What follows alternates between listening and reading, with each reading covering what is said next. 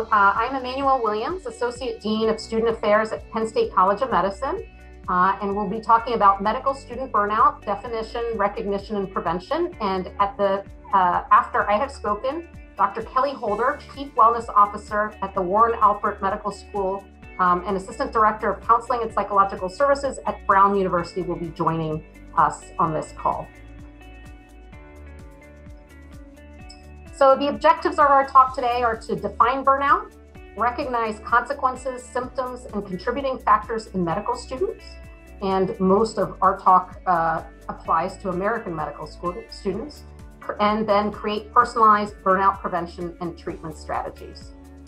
So the definition of burnout, burnout, the word actually means reduction of a fuel or substance to nothing through use of combustion, so something we burn. Um, but burnout, as we are talking about today, is the physical or mental collapse caused by professional life, uh, and in particular to professionals in the medical medical system now.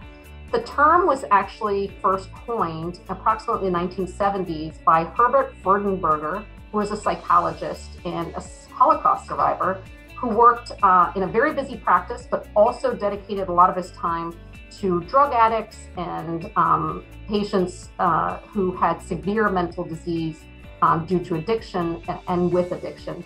Um, and at some point, he was working so many hours that he was supposed to go on vacation and he couldn't get out of bed. Uh, and his wife said that he just wasn't functioning. And at that time, he thought about how he felt and he remembered seeing drug addicts who were so out of it or not physically and mentally present that they would let their cigarettes burn their fingers. And that's how he felt. He felt that his job has burned him out at that time. Uh, and he ultimately wrote a book that was uh, was that had burnout in the title, and that's where the term was officially first used. By the numbers in the United States, one out of every two medical students by the time they graduate uh, will have suffered a, some form of burnout. Students enter medical school with a low rate of burnout versus their age appropriate or age adjusted and educationally adjusted peers. The consequences are very severe. Our medical students are three, more, three times more likely to die by suicide uh, compared to peers of the same educational level. And students with burnout are two to three times more likely to have considered suicide at some point. There's also a strong association with thoughts of leaving medical school. So, in a medical student, there are really significant consequences to suffering uh, from burnout at its worst. What are the causes of burnout? Excessive workload. I think any medical student all over the world understands how much there is to learn in medicine. The loss of autonomy, flexibility, and control. Uh, this is a time where you enter a professional world uh, and you are told many times how to act and also what to learn uh, some loss of meaning in work because it takes a lot of time to become a doctor. Um, and sometimes it feels that it's hard to even imagine what it'll be like to practice medicine. An inefficient environment, the expectations of medical students sometimes are not as clear as they could be, and students feel they're pulled in many directions on where they have to uh, fulfill their expectations. And then problems with work life balance. So, uh, ma- maintaining a normal life outside medical school. I remember my medical school years as if everything was on hold. I didn't go to weddings, I missed family birthdays, um, and this is not this is not a healthy way to proceed. Really, when we think of the symptoms of burnout, they can see, be seen in three dimensions emotional exhaustion, depersonalization, and low personal accomplishment are the three types of symptoms in all dimensions that we see in burnout. Emotional exhaustion it's it's you see sick patient after sick patient. You're not at a restaurant waiting for people to be happy to go to the restaurant. You are seeing people who are unwell and who want to feel better, but they're unwell when they see you. That can empty your emotional gas tank. You are running on fumes. Depersonalizations, the patients are no longer people. You see them as objects, as diseases, as symptoms. Um, and these are dolls that are called troll dolls in the United States. And when we were medical students, we had a liver service, and with the big belly, the levacites, and temporal wasting, uh, to us they looked like troll dolls. And I remember um, it was uh, not uncommon and completely inappropriate to refer to some of these patients as our troll patients. uh, which was really unbelievably inappropriate, but we were so tired and so exhausted that it was in a certain way perhaps a coping mechanism, but we didn't recognize it at burnout at that time. Low personal accomplishment. Uh, you're the little man here, uh, you know, making the machine work, but you feel so small. What you do doesn't matter. And that's easy to feel that way as a medical student. A lot of times people ask me, you know, burnout, stress, depression, what's the difference? What does it really mean? Um, and here, uh, it's important to realize that it is a interrelationship. So stress is really a syndrome of too much. You are doing too much. You're busy, busy, busy studying, running around, um, going on, on wards. Um, it can be productive. We know that. When you get stressed right before an exam and you're getting ready to study, um, it, it can motivate you to study. If it's rewarded appropriately and it's valued, it may not necessarily lead to burnout. But when you don't adapt properly to stress, then you can go into a burnout stage. And really, burnout is the syndrome of not enough. There's not enough of you to handle everything that's going on outside of you. It's never productive. It doesn't lead to better things or improvement in your career. If anything, it can stall you. Um, and it is related to stress and a maladaptive response. So here, stressed Eric, there's a picture of him, his hair is on end. And burnt out Eric, well, he's so burnt out he was too tired to pose for the cartoons. He apologizes. So, burnout, when you leave medical school, and this is really important, um, when, met, when students decide to leave medical school or they graduate from medical school, uh, it can completely resolve.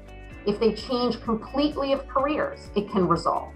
Um, but it does have a relationship with uh, uh, burnout in that 90% of burnt out physicians actually meet criteria for depression. So it has an, a relationship with depression. Um, and we are seeing in the United States epidemic increases as our health systems change um, and this and the complexity of our, our, our patients go up.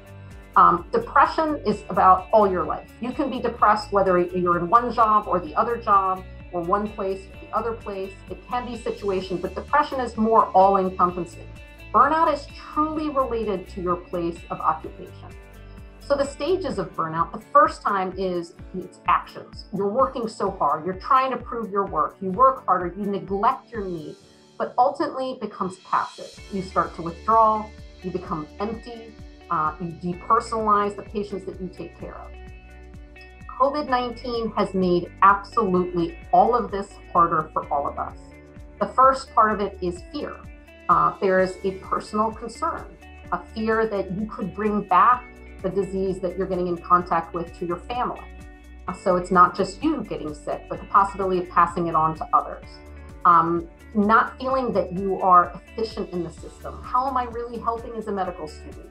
We did have COVID response uh, groups in our medical school, and we found that those students who were engaged in that actually seemed to have less burnout in a sense. They were more engaged in the process. They felt they were helping, volunteering to vaccinate, to do testing. Uh, but it could it was very easy during COVID-19 when all our classes in the medical school went into the virtual sense uh, that, that medical students felt like they had no role.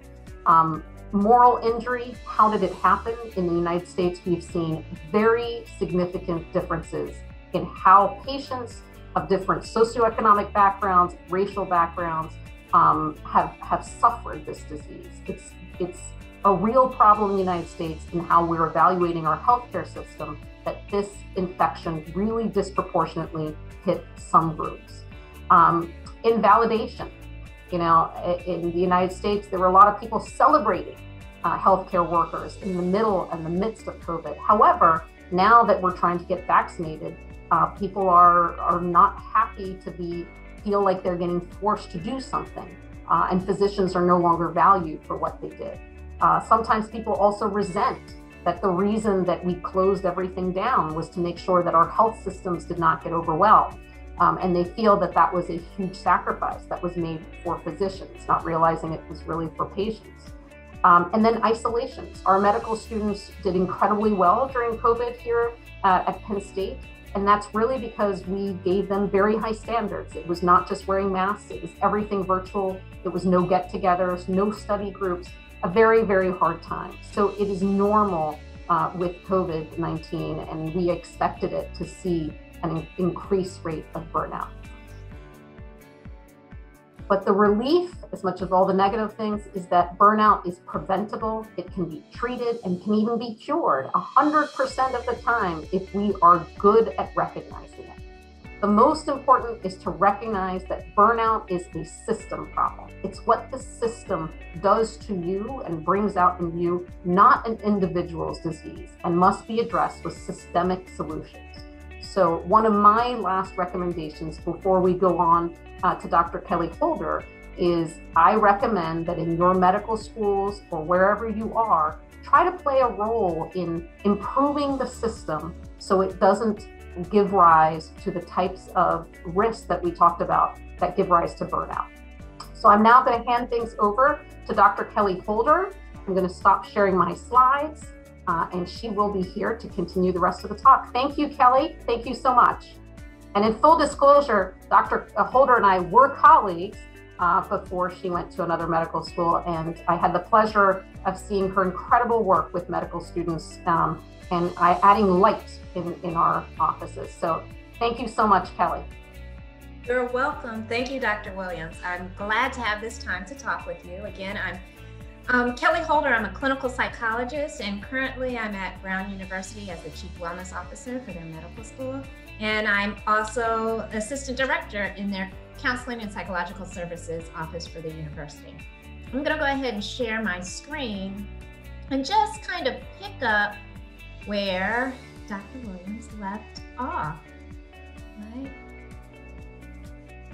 Here we go. So, the thing I want to highlight is just where we're making this transition and reminding you that burnout is a system problem, right? It's not on us as individuals. There are some systems that create burnout um, more than others, and we know that the healthcare system is one of them. And being a medical student then puts you at risk for burnout. Now, we know that it is a system problem, and we believe that it is important as individuals we speak out to systems and we make changes wherever we can. However, while those changes are still taking place, there's something that we can do for ourselves, things we can do for ourselves. Um, and that that brings some hope, right?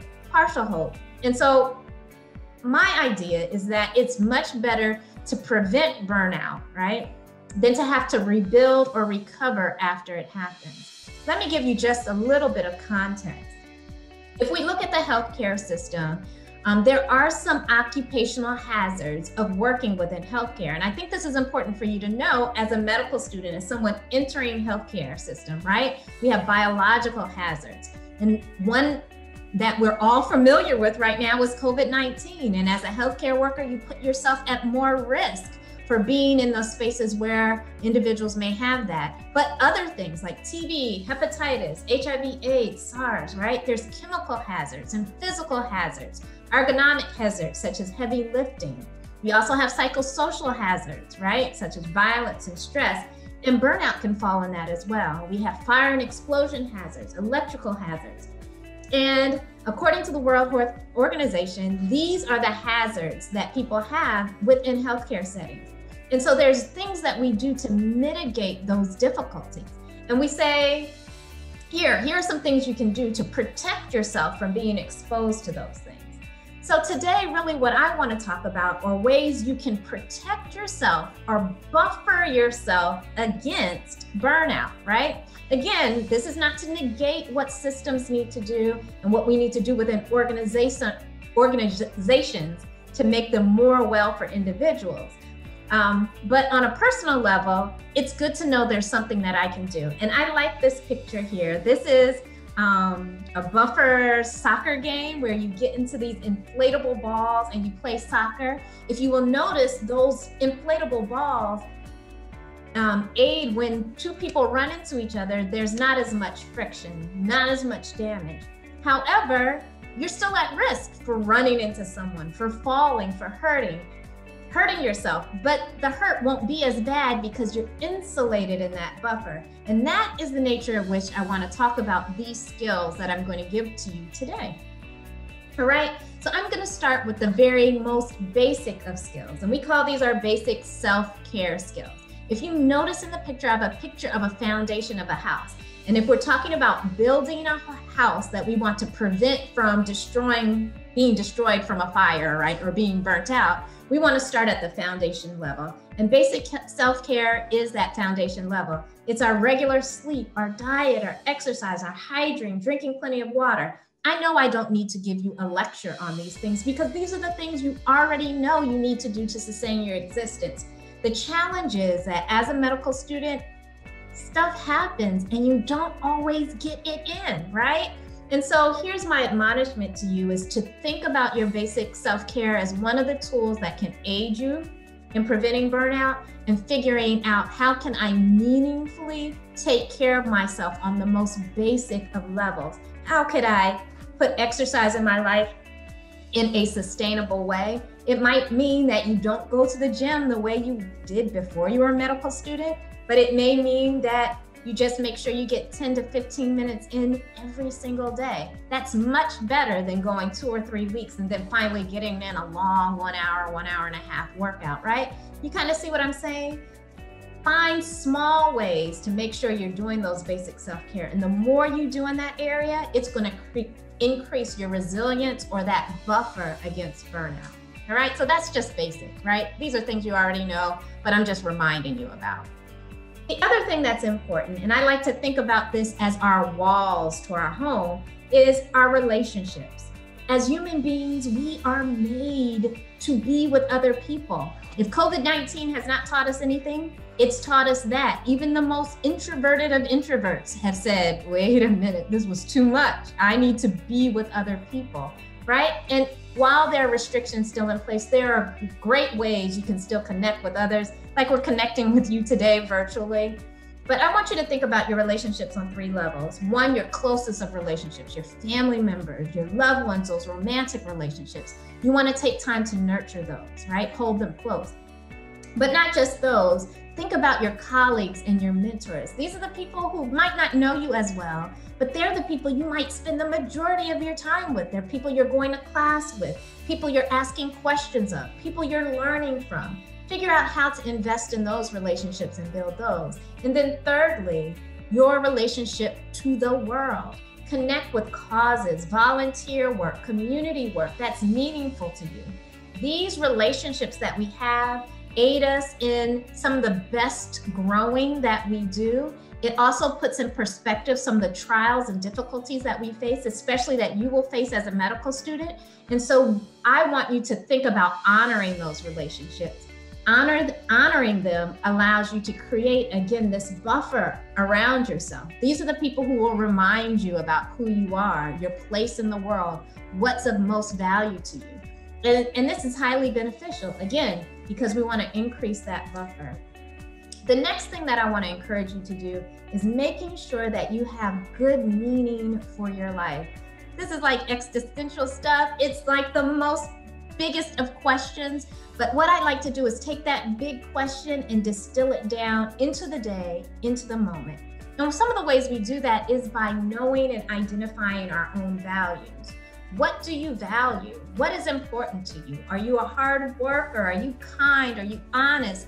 Are you um, supportive of others? Do you like laughter? Um, is it good to investigate? Do you like solving problems? Take some time to write down what you value about yourself and what you like to bring to the world. And then that pull it into the day.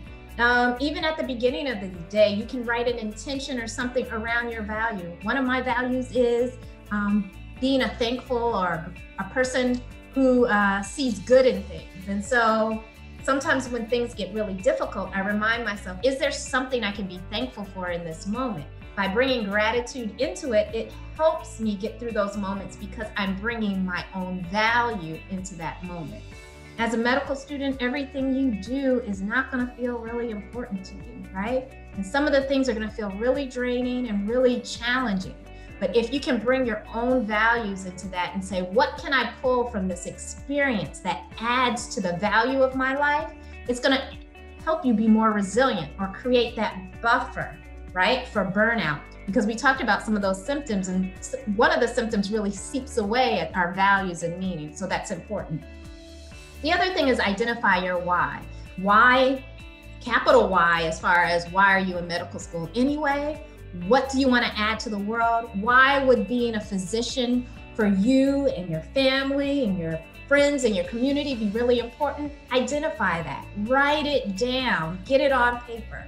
And then also identify your little why, right? Because being a medical student isn't all who you are, right? You're so much more, so much more of a person and so many other elements in your life. Remind yourself about those too, because those things matter, right? And as you you um, figure out how to make time for those other whys, it's going to balance out or um, aid you in better managing the challenges that come with being a medical student and someone going into healthcare and becoming a physician. This next one I think is really important. We want you to re resist this delayed gratification and putting life on hold. This is not to say that you get to do everything you absolutely have always wanted to do while you're in medical school, but I want you to find ways of pulling in the things that are most important to you into your daily life. One of my uh, favorite things to kind of talk about is some people who are really into art. Um, maybe they like to paint and paint large murals and do a lot of really extravagant artwork. Well, maybe medical school doesn't allow you to do that. However, you can do it on a small scale. Get small projects do a little something every day, something to remind you about how valuable that is to you and that you still can offer it to the world. Maybe not on the large scale, but on a smaller scale. And we could do that with anything vacationing, traveling. You can make a book or archive and put pictures together and plan for events. Making small trips, again, with COVID, that kind of changes things a little bit. But even just planning and thinking about it and writing things down is one way we can pull it into our present. Again, we don't want to put off everything until we become something because there's always something to become. So we want to be able to enjoy our lives because the way we do that now typically will be how we do it for the remainder of our lives. And so getting that good practice now is very important. This last one is practicing gratitude. I kind of highlighted that already, but what I want to remind you is that gratitude changes everything. When we are able to find something we can be thankful for in the midst of difficult and challenging things, while it doesn't get rid of what is painful and difficult, it shifts our perspective just enough so that we can bear what's necessary so we can move forward. And if you don't have a gratitude practice and you've never done it before, I would challenge you to think about just maybe starting your day or ending your day, listing two to three things that you're thankful for, and just see how it impacts your life. Try it out and see. It's simple enough. Lastly, when I talk about the top of our house or the roof, these are stress reduction techniques. These are on top of basically taking care of ourselves, having good relationships, knowing our meaning and value, learning some tools that can reduce our own activation. And so there's all kinds of things. It's learning mindfulness. This is just around being present where we are and enjoying the moment. And there's all sorts of great mindfulness skills that you can learn. Meditation. I like this one because it is all about noticing what you are focusing your mind on. And so there are meditation practices where you can sit and focus on your breathing, focus on phrases, focus on goodness. But throughout our day, we're always thinking about something. And a good friend of me, mine just reminded me that worry is a kind of meditation, and that's not the kind of meditation we want in our lives, right? So when we notice where our thoughts are going on a regular basis, being able to take hold of them and saying, really, is this where I want to spend my mind, my mental energy, right? And and then deciding okay, this is how I'm going to spend my thinking time. This is where my thoughts will be. This is what I'll focus on. It's really important. Then there's cognitive restructuring. This is all about how we think, learning how to have better perspective. Um, there's all sorts of tools, and I could give a whole lecture just on this in and of itself, but it's something worth investigating because the way we think matters and it impacts our behavior and our emotions. It's good stuff, a way to focus in on. Another thing that can help reduce our stress is to nourish our own creativity. And this is just not about art and singing and music and dance. Creativity is all about making something new, putting things together. So, my friends who like to organize, while I think that might not be a fun way to spend my time, they are using their creativity. They're plotting and planning and getting tools and different things to put things together and make it all look nice in a space, right? That's creativity. So for you, it could be solving problems. Um, it could be the artsy things. I say this because some of you really like the work that you do and really like studying. And so some of the things that you study, you can if you um, note that you're using your creativity, you can remind yourself that even while I'm studying this thing and doing this, this could be a mode of stress reduction for me because I'm enjoying it so much and I'm using my mind to put the information together in a brand new way and share it with someone else. I like to say this because we sometimes dichotomize our work and our play, and sometimes our work is our play if we're mindful of it, we can use that to our advantage and again create this buffer around ourselves for from burnout. The last one I think is really important. We're in a digital age, and especially since COVID, I really used to be technology kind of free a lot, like not on my phone, decrease my social media use. But with the increase of COVID and staying at home, my temptation to get on was much greater because I that was the way I could connect with people. I do know that having those tools to connect with others is really important, but we have to be mindful in the ways that we're using them, making sure that we're just not zoning out on technology or we're too available to too many people too much of the time. I think we don't fully understand what it does to our brains and our bodies. So it's important that we all take some break from being um, constantly uh, contacted by others and constantly taking in information. It can be information overload. I also highlight the idea that because of COVID and all the things that have happened over this last year and a half, there's a lot of bad news and we don't have to take it in all the time, right? It's okay for us to take a break. It's not going to change what's happening in the world we owe ourselves the moments of peace and a moment of being away from the incessant bad news to take care of ourselves. And so, if that resonates with you, then make sure that you schedule some time to be technology free so that you have to don't have to constantly take in that kind of information. So, here's the house that we prevented the fire from and uh, we've taken really good care of. If I were to give you any suggestions on how you can increase your own buffer and prevent burnout in your life, these are the steps I would share with you. One, identifying what your go to coping skills are. I shared some here with you. I might have shared some things you might want to try, but my guess is that you already have skills that work well. It's just realizing whether you use them or not and then figuring out how often you want to use them. So do a self assessment. What works for you, right? Use that stuff. Do it. You have a lot of wisdom, and I want you to gather from the wisdom that you have to best help yourself. The second thing is that we all have some negative or maladaptive coping skills, some things that take away from the goodness of our lives. If we just go to the basic coping, um, basic care area, um, one of the things that could work negatively against us is consuming too much alcohol, right? We know that negative health effects it has on our bodies and that it has on our minds. And so, you know, being mindful of that. So, what are the negative coping skills that you might be using too often that at some point it helps you feel good, but too much, it causes you to have negative effects? Realize what those are and, and remove those from your life as much as possible. And then decide what new skills do you want to add to your life, slowly and mindfully. Again, there's no goodness in making a long list of all these new things you're going to do. That you could get burnout on trying to do wellness stuff, right? So it's important that you start slowly and you add maybe one or two new things that you might want to try.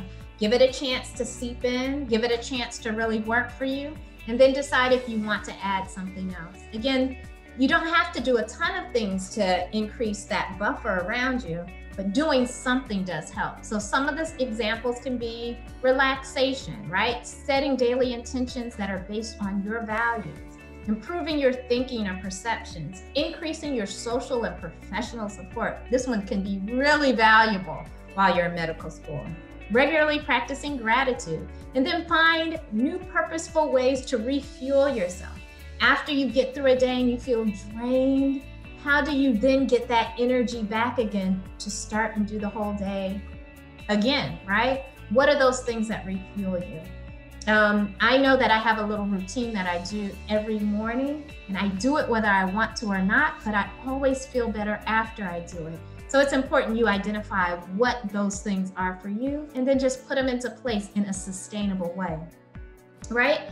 And then um, the thing I like to talk about a lot, which I didn't spend time in this this talk talking about is that we also have to extend some compassion to ourselves when we're adding and doing these new things. It just really says, I'm not going to beat myself up and say, oh, you got to do all this. It says, with kindness and love, like I would give to a good friend, how can I help myself move forward? And so I hope it is in that mindset that you add these professional resiliency skills to your life, not in a mean, harsh way, but in a kind, generous way, giving that to yourself, right?